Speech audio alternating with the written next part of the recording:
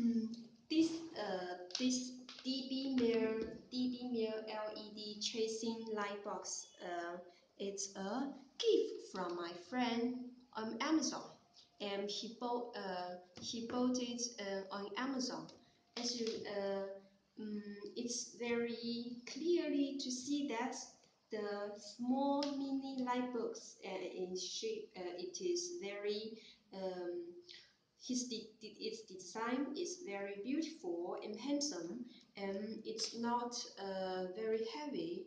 it's does about um, one kilograms, and the thickness you can see it's uh, it's very thin, and the design is very simple.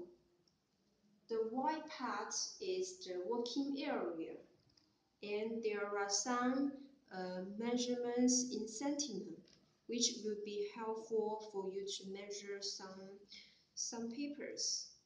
And here is uh, a plastic protective film over the screen, which can help protect the screen well. And here come with the power adapter, and is the power power supply and the core is uh, about uh, two meters long, so you could um, you could flexibly move around or just uh, sit here.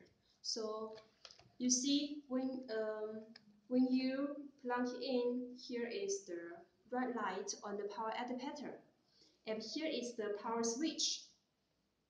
It, it comes with three level of brightness. Here is the first level. The second level is much more brighter. The third level is the brightness level.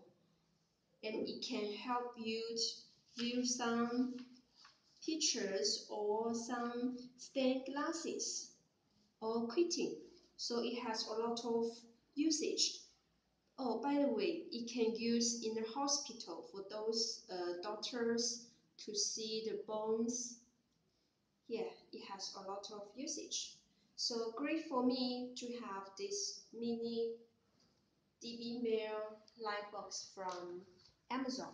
So do not hesitate, buy it on Amazon.